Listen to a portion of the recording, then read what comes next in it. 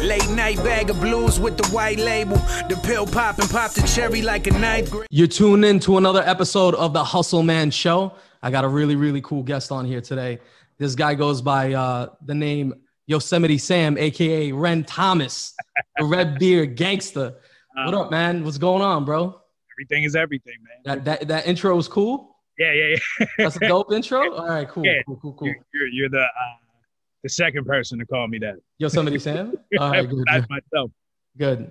Yo, li- listen, I want to start off by saying uh, I'm I'm a fan of your your work before. So the way that I, I got to know you as a person, um, I got to know you on TV actually.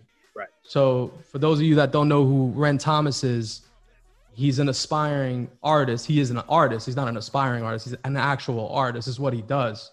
He's been on battle raps before, like major, major platforms. Um, and he was on the show Signed VH1, correct? Yes. Yeah. So that that's kind of where I bumped into him.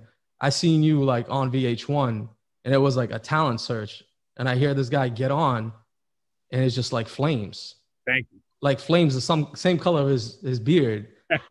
and I'm like, yo, who the fuck is this guy? And then I yeah, and then I hear he's from New Jersey. Yep. And I'm like, damn, Jersey's built like that. We we we out here growing people, bro. Yeah. Jersey. Jersey's the biggest untapped resource for artists in the world, bro. I, I in my in my opinion. You're not wrong, bro. You're not wrong. There's a lot out here. There's a there's a lot of there's a lot of people that you wouldn't know are from New Jersey because you just wouldn't know. You wouldn't know that Ray Liotta's from New Jersey unless you know you researched it. Or, Yeah. Joe Pesci or you know, um, and then you look at hip hop, you look at Redman, The Outsiders, uh, Artifacts, Lords of the Underground. You know, all, all the guys that you know came before me, and the guys that are still rocking to this day. There's a ton, a ton of talent. here. Absolutely. Absolutely.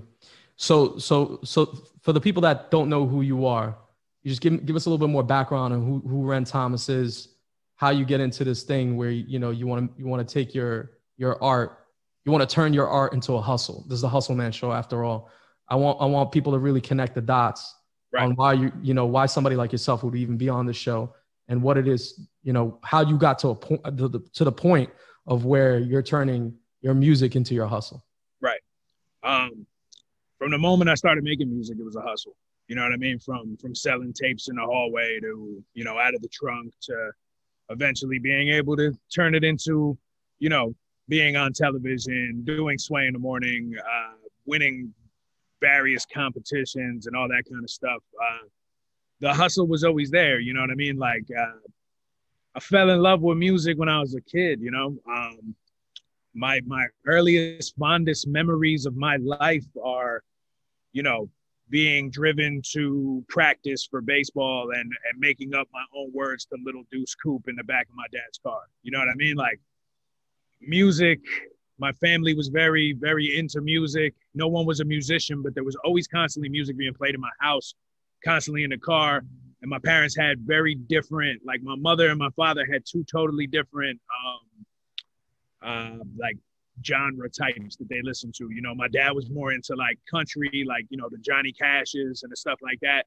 And then my mother was really into like R and B and doo wop and the Beach Boys, and you know, it was a very eclectic household. So uh, I listened to a lot of music growing up, and you know, when I, I have an older brother who's about nine years older than me, and uh, when I'm a little kid, I got all this angst, right? And I I, I want to, uh, you know, I'm like, I was a mischievous kid, you know what I mean? And uh, I stole a bunch of tapes out of his room. I remember my mom bought me this little cassette tape uh, deck, right, that I could listen to my tapes on, and I had like jock jams and uh, uh, you know, new kids on the block and and and all this. You know, is it is it okay if I curse on here? Uh, go ahead, bro. Go ahead. So We uh, keep it 100% real here. naturally for me to curse. So um, sure, sure.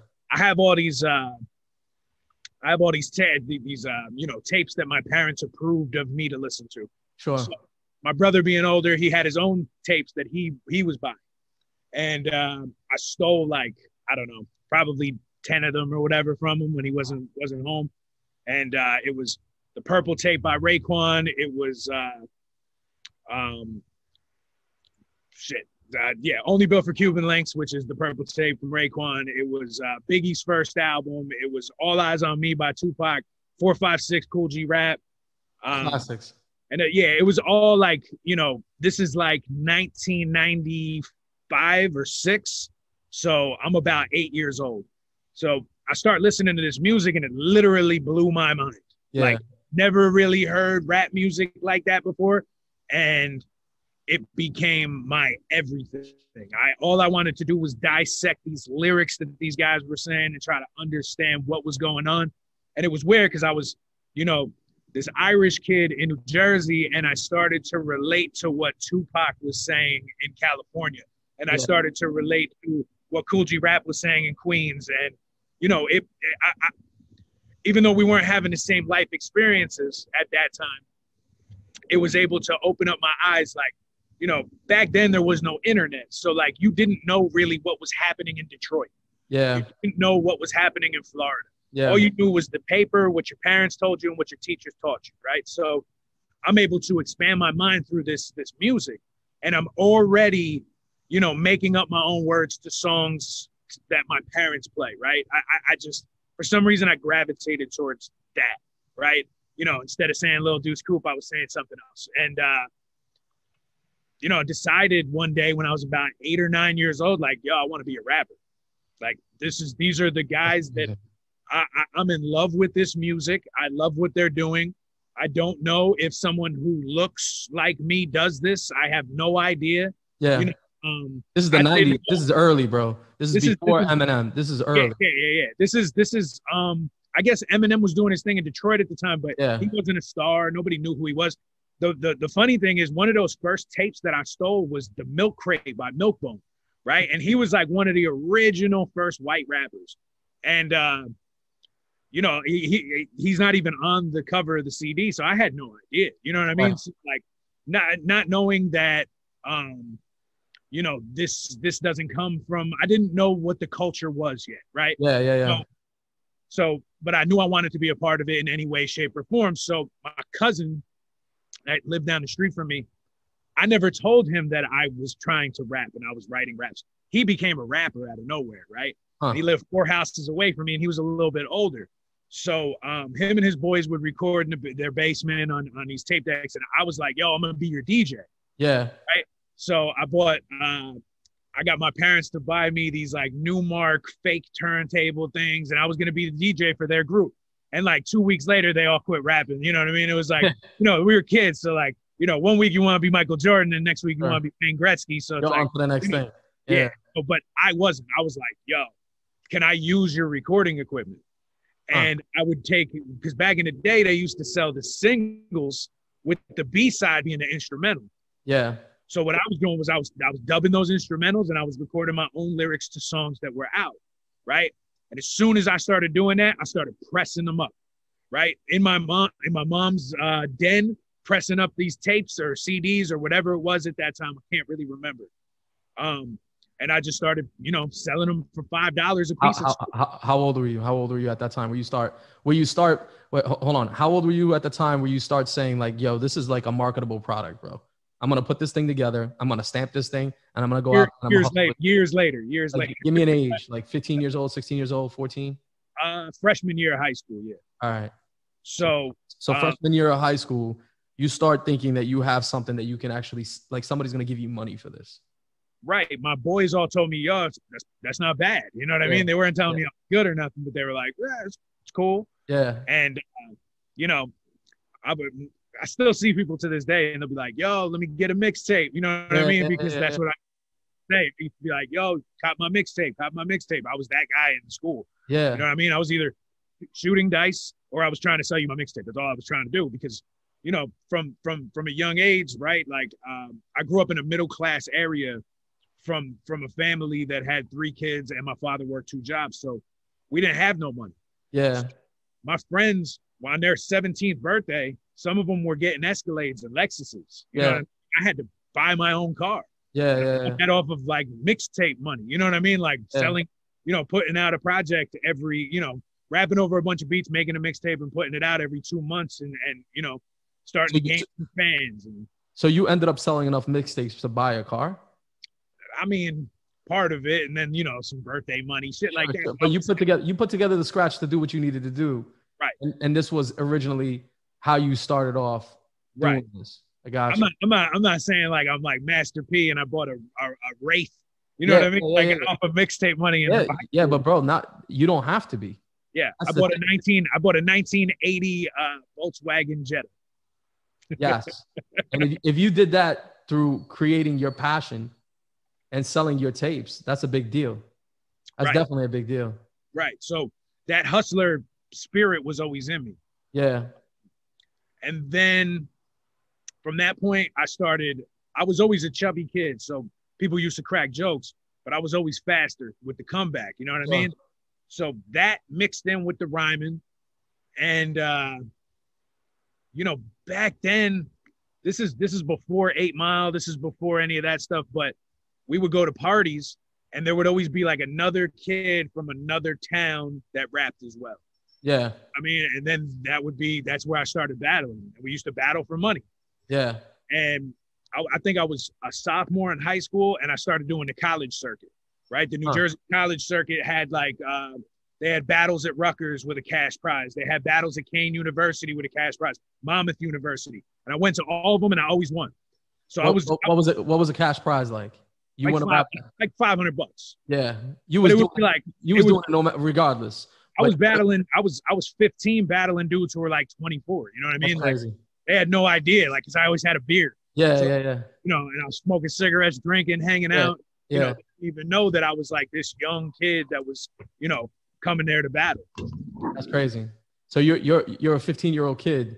You're doing this college circuit. Right. You're battling these guys. They're like 20 something years old.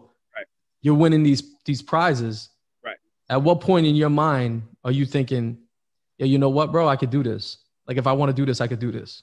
It's a, it's, it's a really funny story because um, my parents were always very supportive of what I was doing. Yeah. But I remember that first battle that I won at Monmouth University. I came home with five hundred dollars, and my mom said to me, she she was like blown away that I had won this, and I was like, "What do you mean?"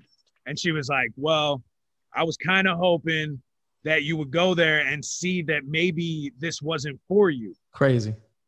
right? Crazy. Even though that they wanted, they like you know, hip hop had this this this bad taste in people's mouth."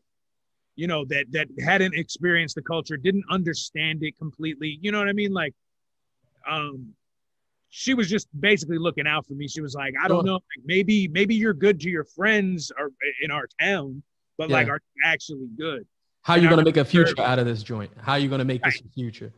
i'm, I'm coming up on becoming you know 18 or whatever in a couple of years from then and you know she wants me to like figure out what i'm doing with my life. So uh it's a two part answer. So she sees that and she's like i guess this is what you should be doing. And from that point on i knew it That's Right. crazy. and then when i was uh junior in high school they brought me down to ask like yo what do you want to be when you get graduate? And at first i said i want to go to full sail right which was a music engineering school. And we looked into it and it was very very expensive. And i was like you know what? I'm just going to keep doing what i'm doing and be a rapper. And they actually the uh, my parents had to come in and have a conference with a psych uh, psychiatrist and with the um, the principal the vice principal and a bunch of people from the school because they thought i was nuts. What? That's crazy, And- bro. and so so the psychiatrist brought me to the side and, and like asked me all these questions. And she comes back in. She's like he just likes making music. Like that's what he wants to do. He's not crazy. Yeah. And ever since that point like i've always kind of like the chip on my shoulder is what always drove me to become better right because Sure. like oh you're gonna tell me i can't do it i'm gonna do it better than you ever thought i could you know what i mean Sure. so it's like that's always been the constant driving force of my entire career so it started from those, those points like my mom not thinking i would win that battle the the teacher saying you can't be a rapper you know what i mean so like and a lot of people say that in lyrics they'll Yeah. be like my teachers I wouldn't amount to nothing sure. most of the time teachers don't really say that For sure. you know what i mean like it's it's kind of like this hip-hop thing but it really truly did happen to me It does. It, it does. It does happen, but they're looking for for a chip. They're looking for something to drive them. In your Right. case, in in your case, you got psychiatrists and shit in a room, and they're Right. trying to figure you out. It's, Right. they, they're, they're like this kid from the burbs is trying to be a rapper in an industry that doesn't automatically you, you don't really fit into that industry at the time the way you would like it today right? Right right right. This is this is like you know probably a couple years after eminem becomes you know what he became sure. and sure. you know like so like there's like one dude so it's like you know there's there's one guy that looks like me that's doing it and everybody else doesn't. So they're like you can't do that. It's one in a billion. Sure. And it's like okay well you know did there you is that who, one person did you know who m was at the time uh, by the time, yeah, he came out, I was like uh, a freshman in high school. I think he came out.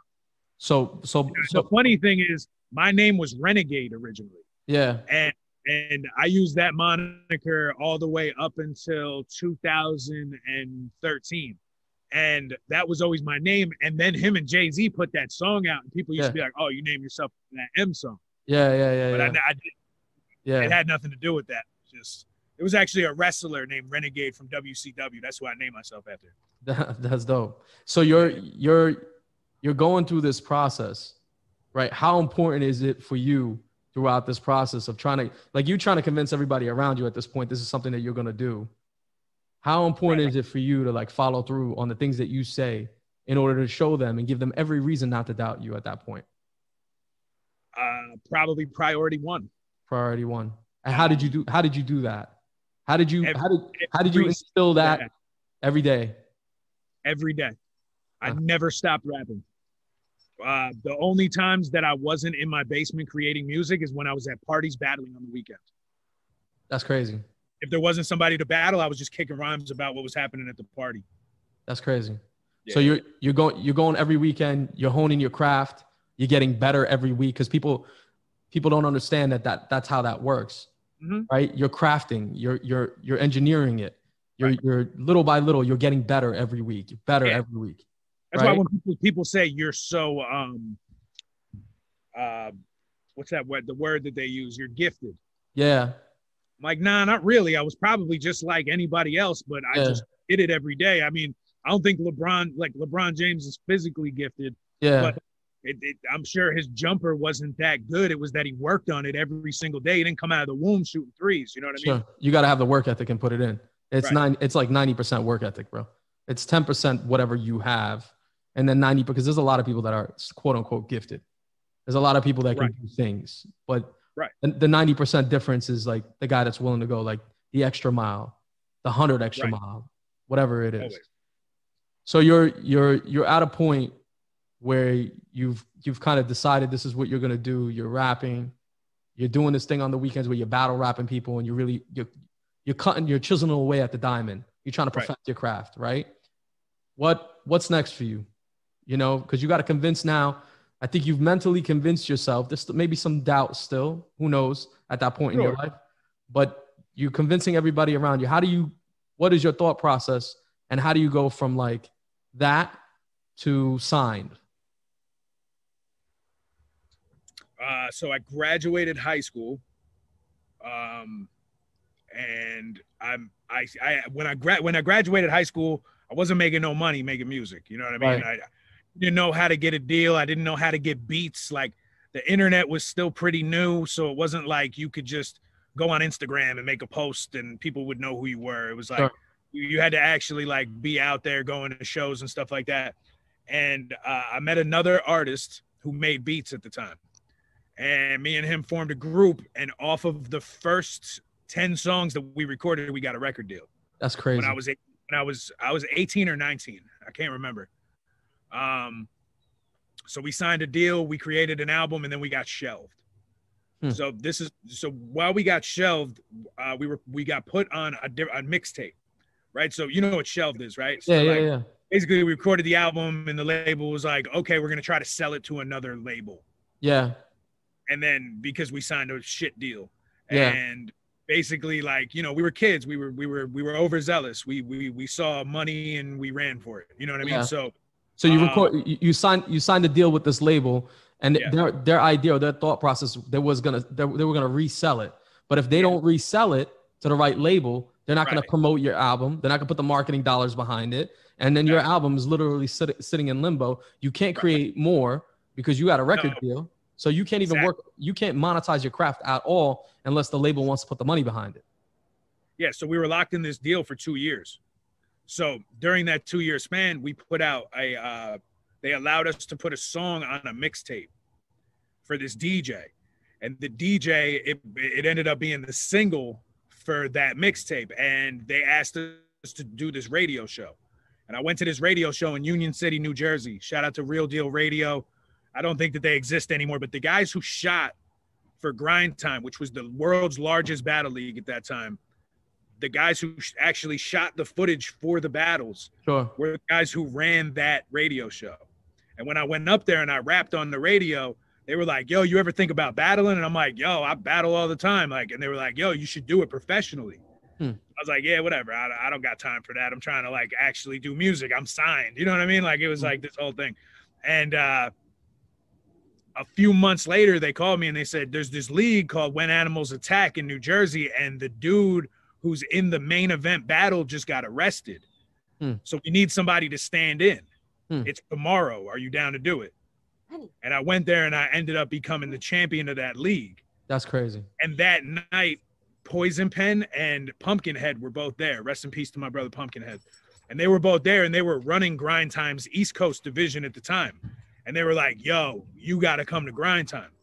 So I went to Grind Time for two years and was 19 and 0 over those, those two years. 19 and 0. 19 want to beat under, all. the name Renegade. Wow. Yeah. So from that point, uh, in 2013, I won EO Dub, which is the world, um, basically like the biggest freestyle competition in the world. Yeah. So I became the U.S. representative for that year. I went to London and I placed third in the world.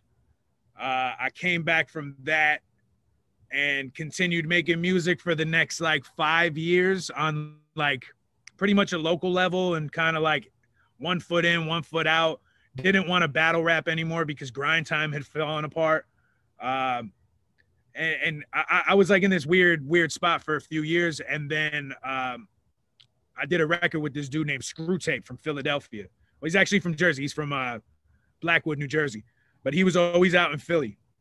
And he invited me out to come do this show with him. And while I was out there, everybody was like, yo, the song that you guys did on this guy's album is our favorite joint off of it. Hmm. You guys should work together. So we ended up getting signed to Sensi Star as a duo. Hmm. And after I got cool with the guys at the label, they were like, let's put out your solo album. Hmm. During that time, uh, while I was putting out my album, I've Been Nice with Sensi Star, um, that's when I got asked to come on Sway. That's when uh, Team Backpack happened. And um, so, Team Backpack, they had this competition that was 10,000 rappers, and I ended up winning it, right? Out of, out of 10,000 rappers. 10,000, yeah. So, Bro, hold, hold when- on a second. You just kind of just breeze and bride shit. You got to slow it down. I'm sorry. You- You're you're you're a battle rapper. For those for those of you that are watching this show or those of you that are listening to the show, a battle like I've watched this on YouTube. I've watched some of your battle raps on YouTube, right? You're you're you're literally battling another person Mhm. on a mic in front of hundreds, if not thousands of people, correct? In order for you to like for you to go on that stage, the level of craft that you need to have, it's crazy, bro. Like it's really, Yeah, I mean, it's really can't- dope. Can't mess up at all. Nah, you can't mess up at all, and you and people is watching you, man. You're again, you're a minority in the in the in the music business, right? So you you got to prove yourself double, triple as much as the next person. Yeah. Yeah, so you're you're up there. You got to be up there, up there. So Right. you you go to these rap battles, like you win out of ten thousand people. How does that how does that work? Ten thousand Uh, people are battling over the course of how long?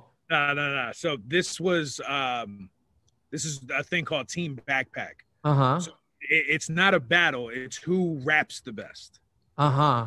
Not actually battling somebody. Uh huh. So, uh, with Team Backpack, they had 10,000 people submit. 600 people got picked to actually go to I Brooklyn. you. I got you. 600 people rapped the first day, and then the next day they brought back the top 16, and then we fought it out for who the winner would be.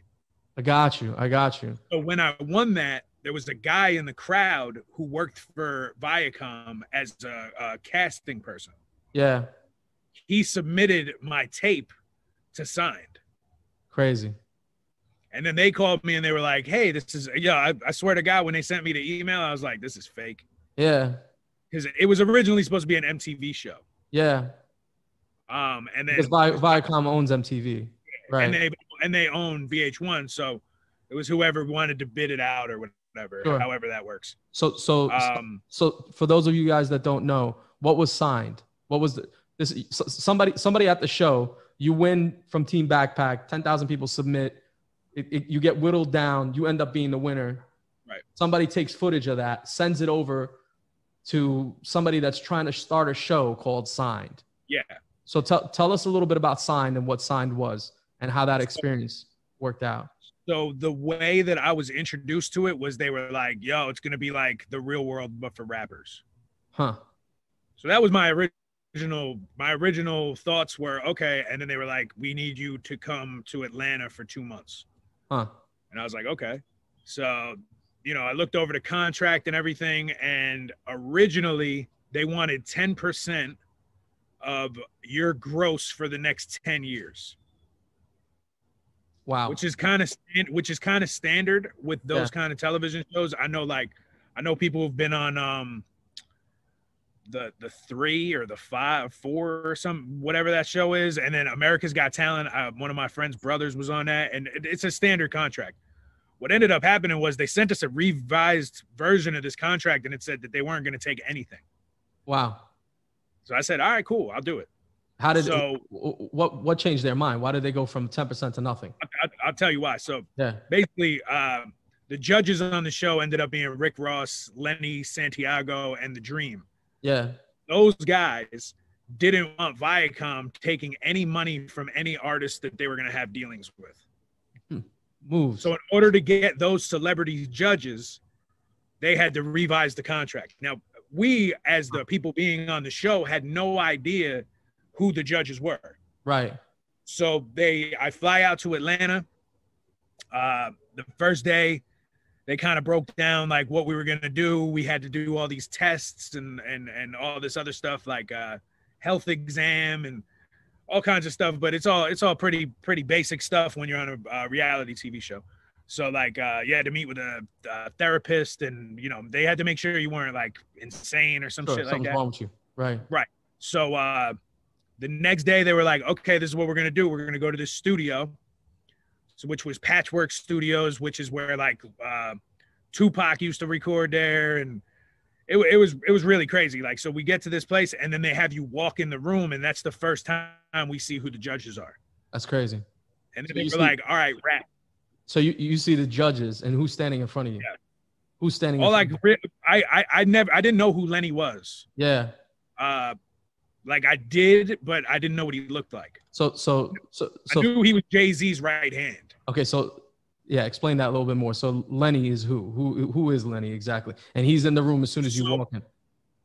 I don't know what his title exactly is, but he's Yeah. like he like runs Roc Nation pretty much. Yeah. Gotcha. So I don't know who that guy is. And Rock, then the Rock, dream, Rock, Roc Nation, aka Jay Z's label, right? Jay Z's right hand man. So you're Yeah. saying you didn't know who that was right in No. front, right in front of you. Did you know who else was in the room? Who else? So the dream was there, but I didn't know who he was either. Like I knew I, I'm a fan of Dream. but yeah, He looked different. He had his hat real low and Yeah, all yeah. the jewelry, and I he I, I didn't know who he was.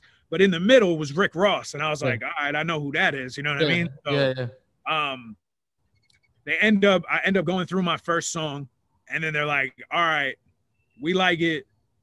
Do another." So I do this other one and uh halfway through I stumbled yeah. and I was like, "Yo, let me run that back." And they were like, "Nah, you're cut." What? Yeah, yeah, yeah. So this is like the behind the scenes real story. So Yeah, so Ross goes, so I'm standing there like, "Damn, I came all the way out here and I messed up and all right, whatever." yeah, So then Rick Ross, he comes over to Mike to me because I'm in a booth. I'm in a vocal booth. yeah. And he's sitting at he's sitting at the table and he goes, Yeah, it says on your uh says on here that you're an undefeated battle rapper. Yeah, like, yeah. And he's like, I don't believe you. So I was like, all right, let's battle. yeah, But then he was like, All right, come in the room. So I come in the room. I think I'm about to battle Rick Ross. So yeah, they they bring down another contestant off the show and Yeah. I battle him. And then I guess it like sparked their interest a lot because they were like, "Yo." It ended up being the longest segment on the show was that battle between me and Nilly. Yeah. And shout out to Nilly because that's my guy. I, I, actually just did his podcast a couple weeks ago. Um, great dude. Uh, so I end up doing that, and basically the television show was it was a talent competition. It was like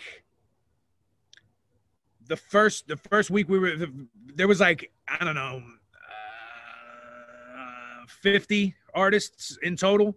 Yeah. And after the first day there was like 15. Yeah. They like got rid of everybody. They got rid of a bunch of people and then we had to do like uh different uh like tasks or whatever. Sure, sure. Right? We, we would go to the studio, record a record, they would listen to it, tell us what they thought. And then um halfway through the show, I get they started using me as like a weapon.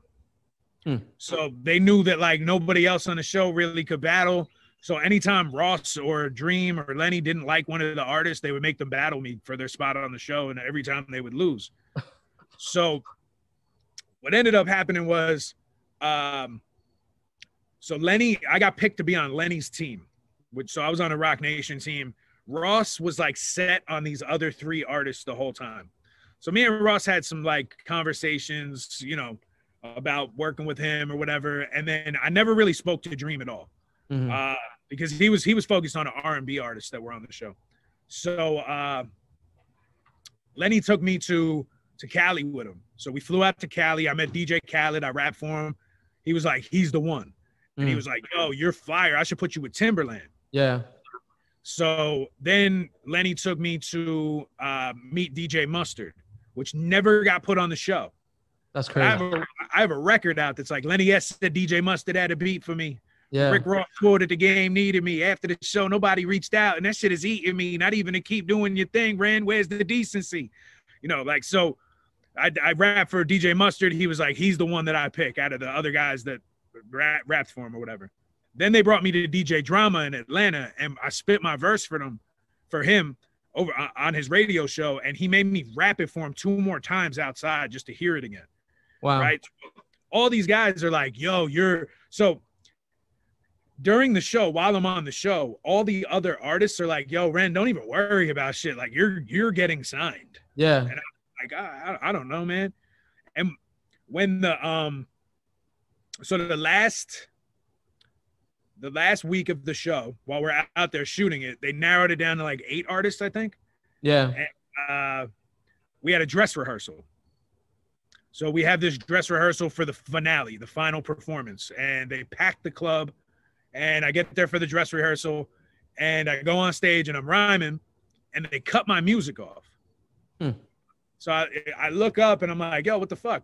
Yeah. So after after I get off stage from that, I go up to DJ Snake, I think his name is. He's Rick Ross's uh, DJ, his road DJ. So I'm like, yo, like what the fuck? He's like, oh, my laptop got unplugged, which wouldn't turn off your computer, but whatever. Mm, So I'm like, all right, just make sure it doesn't happen during the actual performance. mm. So me and the girl Bria were the only two people who had a flawless finale performance. Mm. So the next day we go to the Dreams mansion out in Atlanta and Dreams like, yo, I'm not, I'm gonna pass on you. I'm like, all right. So then Ross is like, yo, I don't know how to market you. I'm like, all right. And then Lenny was like, I thought Lenny was gonna sign me. And he was like, yo, I'm I just don't think you have a hit record. Hmm. And I was like, okay. So that was it. So then I came home and I had to be real hush hush about the show and shit. Why would So- why why'd you have to be hush hush about the show? because I had a, uh NDA, a non-disclosure agreement in my contract. Yeah. So until the show aired, I couldn't speak on what had happened on the show. sure.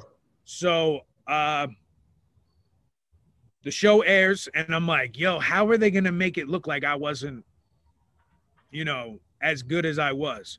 I Hmm. made sure that the whole time I didn't say anything wrong. You know what I mean? Like I know that they could edit it in a certain way though. Mm.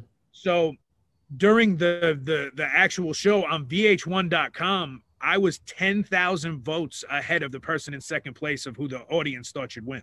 That's crazy. Yeah. So the last the final show Ho- on hold the on, hold on. finale. Hold on. Yeah. They're, they're having they're having a live voting for the show as the show is airing. I don't I don't remember seeing the live voting part of it. I remember on wa- VH1. I remember watching the show is fire by the way. It's a dope show.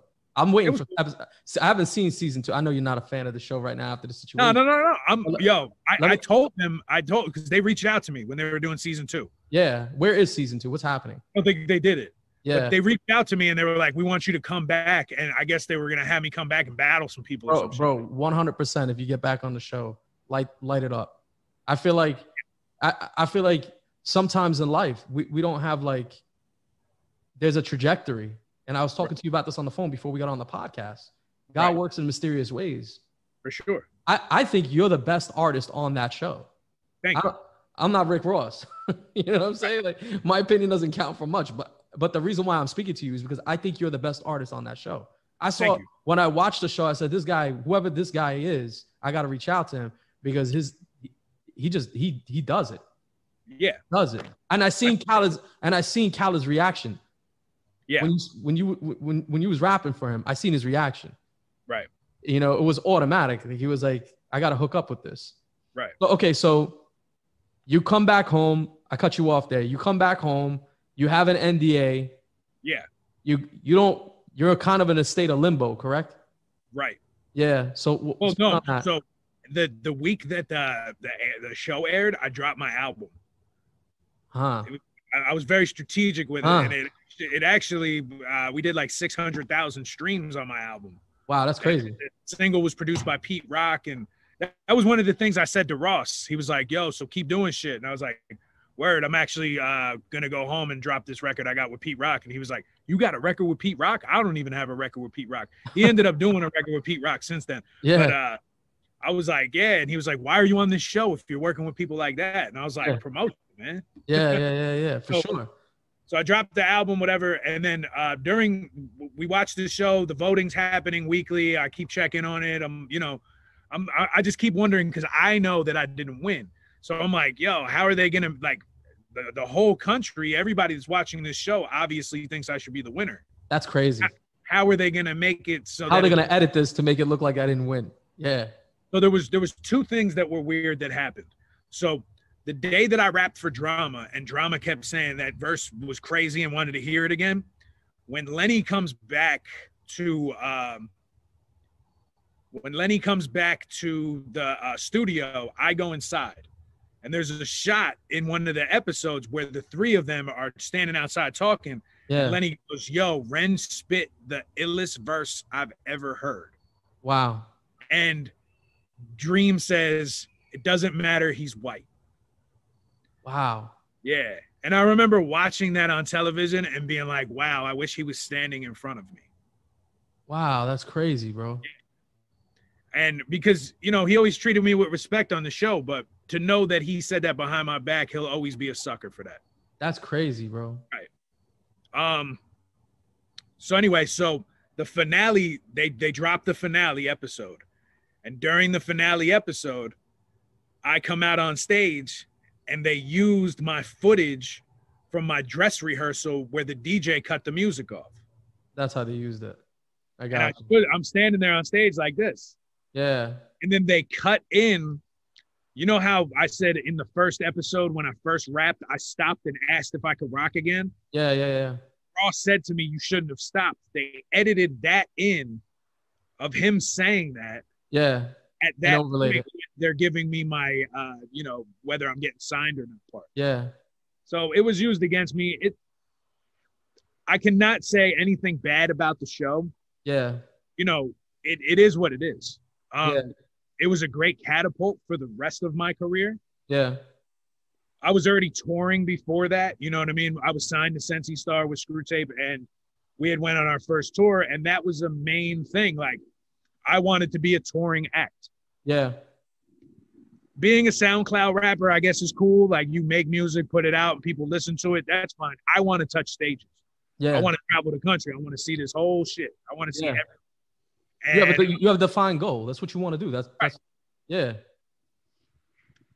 So uh, that first tour that I went on, I after each show, I would find out who either the artist was that was like the guy in that city, who was at the show, or I would find the promoter or the owner of each club. And I would make sure that I got their contact, make sure that I chopped it up with them. Everybody else I was on a tour with, shout out to everybody else that was on a tour with me because they're Yeah. my friends and I love them, but they weren't doing the same thing. They didn't understand the business side of it. They were they were chasing chicks and getting drunk. Right. You know- I mean, I was like, yo, we could do that after. Yeah. Let, let's stick to business right now. And I made sure that when it came time, when the TV show came out, damn, my neighbor's cutting the lawn. Is that gonna bother you? All good. I'm fine with it, bro. The convo is good, regardless of what the background music is. Um, so when uh, when I had the chance to, you know, use the the television show, the Team Backpack Victory, and around that same time, I did Sway in the Morning and got picked top ten of that year that went on his show. Yeah. So I used all those things and all those contacts from that first tour to set up my own 30 city tour where I headlined in 30 different states. That's crazy. 30 different, I'm sorry, 30 different cities, Cities, 20 right. something different states. And uh you know, that's that's the thing is it's like it's got to be a hustle. There has to be merchandise. Like there's no money in music anymore, Sure. right? Like It's Teenage Mutant Ninja Turtles. What do you It's mean? Saturday, it's Saturday, it's Saturday morning cartoons, bro. The music in the music industry came from a place, and this is just my understanding of it, where you could package a product and sell it for 15 dollars, aka a CD or a record or a cassette, and then it turned into this thing where you you know people were getting your music for free, so Right. so so the business became give it away, Right. Saturday morning cartoons, Right. give the content away, and sell the the action figures, sell the shirts, sell the hats, sell the merch, Right. sell the touring. That's right? it. That's what it is. All of the money came comes from hitting the road and having a merch table. Absolutely, You know what I mean? absolutely. But you understand you understand the business aspect of what it is to be an artist. Right. Which wasn't like something that anybody told me. It was what I saw.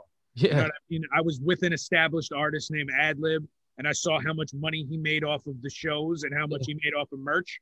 And when I picked his brain about how much he made off of record sales, it was it, Nothing. It, it wasn't even comparable to what Yeah. he was making off of t-shirts and hats. yeah, yeah, yeah, yeah. It's So then it became about it became about all right let me put out music grow a fan base and then go to these cities pack these whatever venues whatever they are 50 to to 2000 people it didn't matter as long as you know half of the people in there left with a ren thomas hoodie or a hat yeah, and then you know the venue's paying me for my time to come out and perform that's the business. that's all it is So you ever you ever watch the movie Spaceballs? Yeah. So there's a there's a there's a scene where Mel Brooks he goes merchandising. right You remember that scene? yeah yeah yeah. That's like one of the that's like one of the most gift shop, right he's got a gift shop. So Yeah. the the reason why he put that scene in there was in order for him to make the movie Spaceballs, he he had to contact Lucas for the rights to do that and not get sued by George Lucas because it was a parody on Star Wars, right? Right. So in order for him to do that, he had to give up the right this, the rights to sell merchandise. So if you Right. look around on the internet, there's no space Spaceballs merchandise for a reason. really Yes. So that's why he put the guy's the guy's a fucking genius. That's why he Yeah. put that's why he put that that scene in the movie. that's hilarious He was like, it's the merchandising, and that's and that's that's the differentiator between somebody that makes their art. So you you're you're, you're an artist, bro. You, you're gonna you're gonna be whatever it is that you want to be. But the difference between somebody like you is that you and somebody else is that you understand that in order for you to to, to do that craft, you got to understand the merchandising aspect of what you do. You got to understand the monetization of your art. Right. Which is So which is what a lot of artists lack nowadays For sure. a lot of a lot of the young artists that I try to talk to, I'm like, yo, where's your merch table? Yeah. Where where where are your physical copies of your album? yeah. Like nobody listens to CDs. I'm like, that's cool. People might not even have a CD player and they might buy one they from buy it. Yeah. support because they like the music. Absolutely. You're giving something, you're giving them something to an option for them to spend their money to support Right. your art. Right. That's dope, bro. Yeah. So so you leave the show, you're back in limbo, you go on tour, you put a whole tour together. That's the definition of hustle. Right. You're not you're not waiting, you're not standing around waiting for somebody to give you a deal. You're Nah. going out there and you're you're trying to you're trying to build on your own.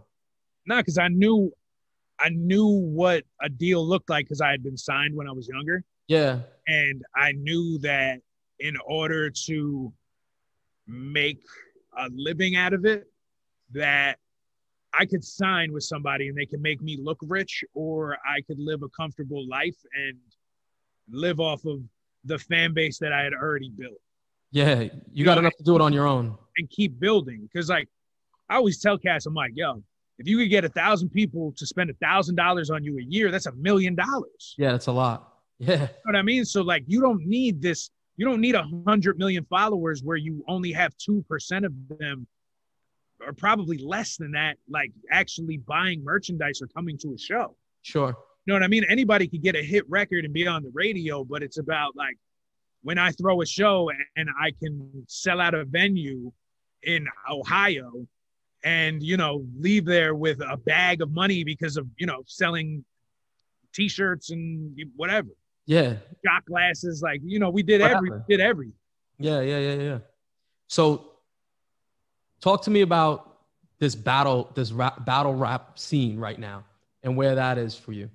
Like, so, ba- um, re- real quick, based on my research, right. this battle rap thing is crazy, bro. Yeah. There's like leagues and shit. This Yeah. shit is crazy. So, So, the, the biggest league, so Grind Time was the biggest league when I was doing it. yeah, Um, now the biggest league is Smack. Hmm. So I hadn't done a professional battle in seven years, and uh, a guy who I knew who actually like rose up the ranks since back in the day, he became one of the coordinators for Smack, and he reached out to me and he said, "Yo, you want to do a battle on Smack?" And and three weeks ago I went and I had battle of the night. crazy. Yeah, so I guess I'm back. Yeah, doing that but i'm also i'm i'm dropping music every week. I, I got a new album that i'm working on. I'm, I'm like i'm gonna juggle both because not many people can. And i feel like if i can why not do both? For sure. Don't box 'Cause there was always a, there was always a stigma about battle rappers that they couldn't make music. Yeah, but i'm not a battle rapper. I'm an artist who can battle so why not? Yeah, yeah, for sure. you know For what i mean? Where is it written that you can't do both? it's not. It's just been it, it, it it's more of like you know most guys that battled back in the day when they would make records they would get in the in the studio and they would do their battle raps over beats Sure. that's it's not really it's not the same thing. Yeah. No, I understand that.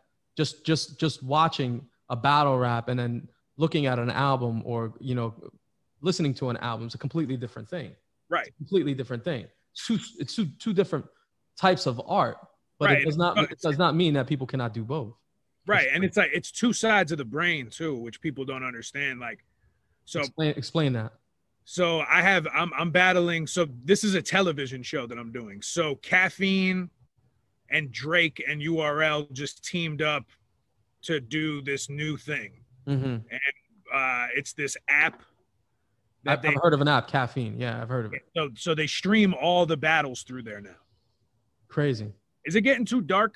It's a little dark. Yeah, yeah, yeah. But that's cool. I uh, could I could still hear you. If you're good, I'm good. All right, all right, yeah, I'm fine. Um, so uh, basically they they they're doing this television show. Yeah. So uh, they had the first round of it a few weeks ago. I battled there. I won. So now I'm moving on to the next round. So I'm finishing up my album that I want to release in March. hmm And so before I get back into writing for my battle in February, I want to be able to finish writing music before I go back into battle mode because it's hard to do both at the same time. Because the way that you structure things for a battle are totally different than the way you would for a song. Hmm. That's the problem with most artists who try to battle or most battlers who try to be artists is they don't understand that there's a difference. What's the difference? What is the difference exactly? Rhyme scheme, the cadence, what you're saying, how you're saying it, all of that. Like, you don't want to write a, a song to a to a beat. The beat is supposed to dictate what the rapper is going to say, Right. in my opinion, right? Yeah. So, if the beat is telling me to write a love song, but I'm in battle mode, I'm going to be coming up with triple entendres about how to kill someone. It's not going to work on a love record. right. Right. Right. It's not the same thing. No, so you know, I want to. I, I I have like a timeline. Like, all right, over the next two weeks, I'll complete the album, and then I could start getting ready for this battle in February. Gotcha. gotcha. Because it's a, it's a lot of preparation for a battle. It's different. You go on stage and you mess up a lyric on stage, the music covers it up. Yeah. You can recatch yourself on the beat and be able to make it look like it you didn't mess up. yeah. With battle rap, it's different. If I mess up one syllable, they're gonna know, and it's gonna live on YouTube forever. There has It's to be more Yeah. It's not edited. It's live. Yeah, There's less room for error. exactly. Yeah, that's crazy, bro. So, if, so if people wanna wanna listen to your music, they wanna support what you're doing. Look at that. Uh, if they if they want to follow you on Instagram, if they want to buy your merch, if they want to know who Ren Thomas is, where can they do that? Um, I usually tell people to Google Ren Thomas. It's Google the Ren easiest way. I mean, if you follow me on everything is Ren Thomas music. Um, for like Instagram, Facebook, all that, all, all that stuff, Twitter. That, li- that lighting made Uh, a difference, by the way, a big difference actually. Yeah, yeah, yeah. Yeah, yeah. Yeah, um my stuff is to just google my name everything comes up all the download links to all the albums that i have out all the battles pop up in the the video category so i got tons of music videos i got tons of battles got tons of you know there's content i, I constantly am constantly putting out content so they just Google Ren so Thomas. Google Ren. Thomas if they want to come. Right now, find your stuff. Go ahead. Yeah. as far as like merchandise and stuff right now i'm gearing up to start uh something new with the new with the creation of the new album i want to re i'm basically doing like a rebrand Dope. um as far as like logos and all that kind of stuff like like this is my old logo and i, I love it yeah, but it, it was for a different time sure, sure. you know so so now it's time to move to something something different you know not nothing better but just something something that goes more with what what i'm trying to accomplish next Dope. When me and you were on the phone with each other earlier, you said Right. something about you had a studio, you got rid of your studio. Just talk on that. Speak on that a little bit more, because I, I felt like that was that was an interesting thing to talk about. so i um i made a good amount of money on the road and uh i also features um Say that again. You said So- you, made, you made a good amount of money on the road and on features. yeah selling features Dope. So uh, the way that selling a feature is is like somebody contacts me, yo, think you're dope, want to get you on a song. I'm Mm. like, all right, cool. This is my price. You send me the money, I'll send you the verse. Dope. right. So most artists probably do like 10 or 15 features a year. Yeah, So in the last two years, I did 450. that's crazy, bro. Yeah. That's crazy. So uh, I, I, yo, I'm- I, I, I work really, really hard, and like I don't want, um, I try to, I try to maintain as much humility as possible, but sometimes I gotta grab my nuts. You know what I mean? Like Yeah, for sure. there's, there's, there's, there's a lot of guys who complain about a lot of shit Yeah, and look at me and think like, yo, why is he in this position? It's because he knows this person, or he, you know what I mean? It, it all has to do with my work ethic for sure. literally the only reason like I didn't have to go to Team Backpack that day, which wouldn't have led the, the, the main thing of my career is I've never burnt a bridge with anybody. Right. I've wanted to tell people to go fuck themselves a million times, but I never did because I never knew yo, it's easier to walk back across a bridge instead of burning it and then having to swim. Bro, You know I mean? bro, that that's a lesson that most people can't get through their heads, man. No, because they live out they live out of pride and ego. That's crazy. It, it, it, it, it, it makes me insane to think that Right. it's just it's crazy. To this day, I don't I don't I don't like burning bridges myself. You know what Right. I'm saying? If I don't agree with you, we don't agree, but I don't have to burn the bridge down. Every comment in this video is gonna be, yo, you need to stop smoking so many cigarettes. Um, it keeps my voice right. Um, yeah, yeah, yeah. It's rap. so- Right. So, um, you know, um, the features, and I forgot where I was going with that. Um, the not, feature. burn, not not burning bridges and the feature. oh yeah, yeah, yeah. So I took a lot of my feature money, and I took a lot of the money from from the road and from the merchandise, and I re I I, I bought my own studio because I needed a space to work out of. Huh. Um.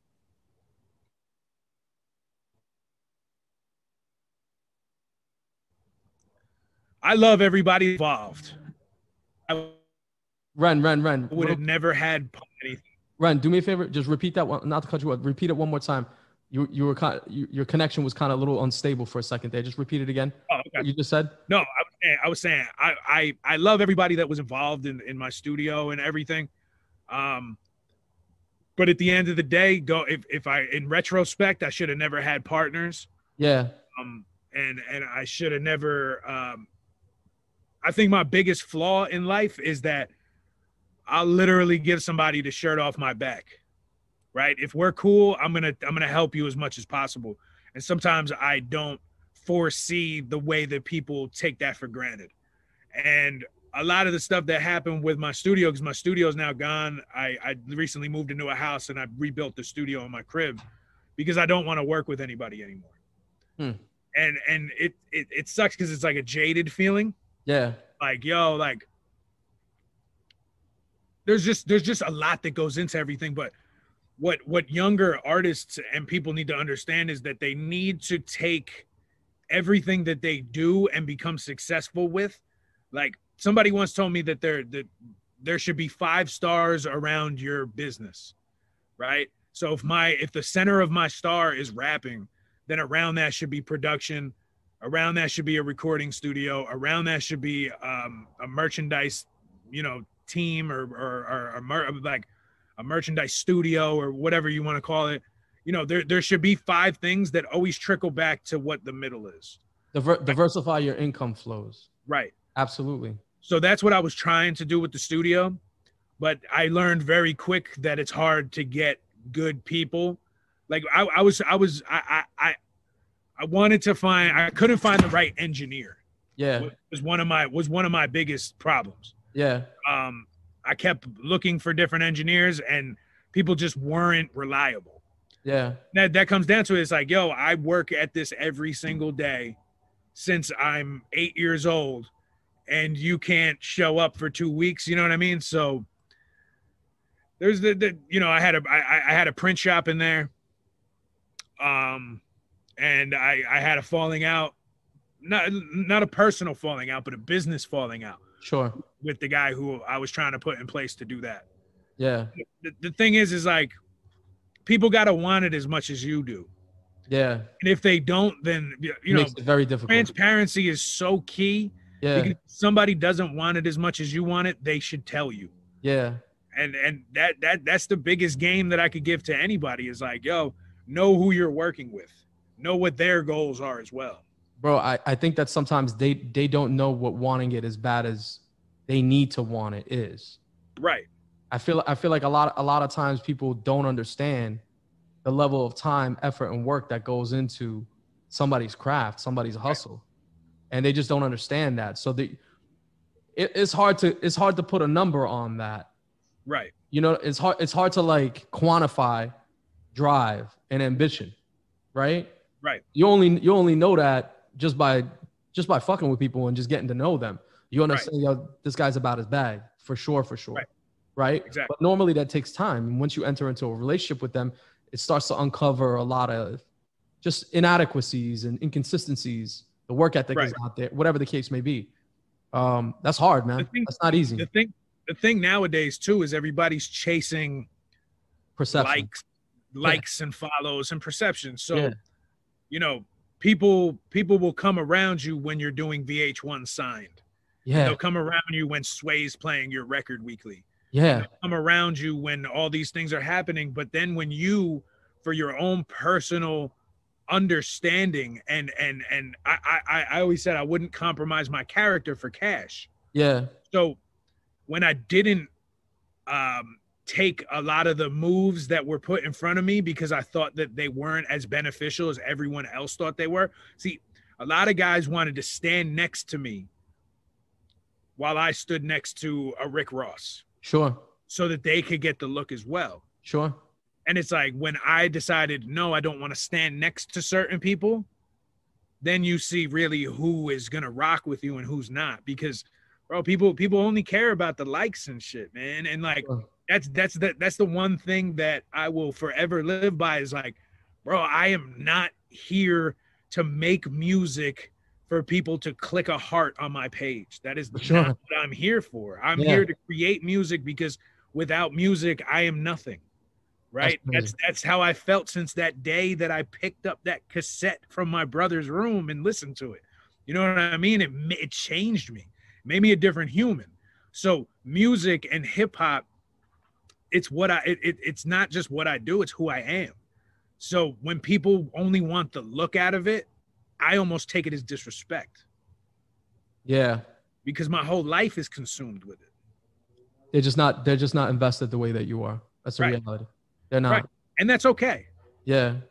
that's Yo, okay man. not to be Yo, man, when I reached out to you about the show, I reached out to you because I, I saw something on that show.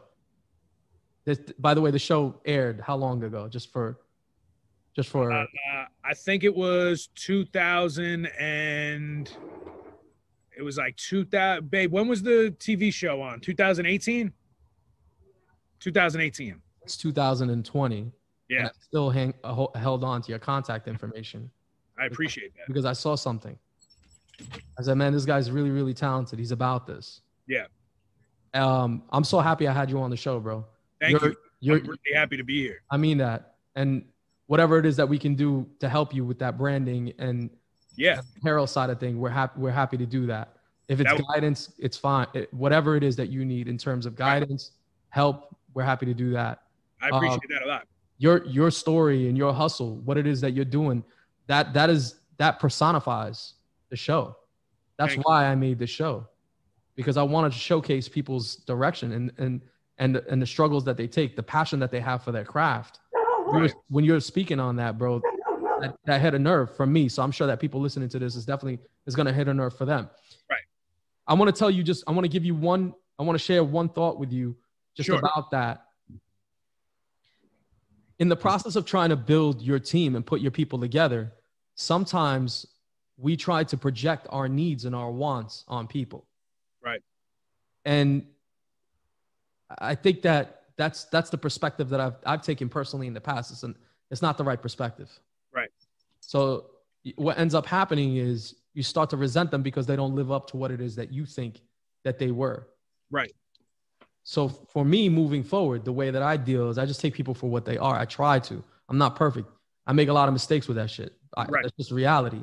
I try to take people for what they are. Right. If they're if I need somebody to be a slugger, an engineer, he's got to work 70 hours a week. Right. If I have to tell him that he's got to work 70 hours a week, he's not the guy to do it. Right. If he thinks he's got to work 20 hours a week to be an engineer, he's not the guy to do it. For sure. You know, and it's just um that's hard, bro, because when you're in a position of need, you try to project your wants and your needs on a person that's just not ready to do it in their life. So very, very it's it's it's a tough, it's a bitter pill to swallow for me, bro. Yeah. You know? Yeah, no, it's definitely like uh you know, I want I want my my goal in in in music is to create a brand and a label and to eat with people who I respect and love.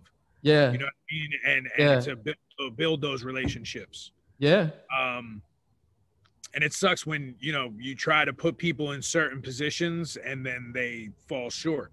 Yeah. Yeah. Yeah. you you can see it in them but they maybe can't see it in themselves or their egos get involved or whatever it is you know what i mean like it's uh it's wild man i've i've worked with so many different people and i have a lot of respect and love for a lot of those people and other ones you know they just drop the ball but you know You keep I hope keep that. I hope that they get it on their next try. You know what I Yeah, mean? 'Cause yeah. I'm, I'm, I'm not slowing down for nothing. Nah, you're gonna keep moving forward. Yeah, 100. percent So real, real quick, I'm gonna put you on the spot real quick. Yeah, That Yosemite Sam bar. I Yeah. need that. Hit me with that whole Yosemite Sam bar. Listen to this. Listen to this. You got it? yeah. Hold on. Go ahead. Go ahead. Take it. Take take your I got to start from the beginning of it though. Hold Go on. ahead. Go ahead. Do whatever it is that you need to do to get to that. Just get to it. That that's one of the hardest bars I heard in a while. Uh, give me one second. Oh, Uh, you good. might have to, you might have to Okay. edit this part. No, no. Look, I- we're gonna we're, we're gonna chop this. We had uh oh, okay. we had Uh, some pieces that we had to take out anyways.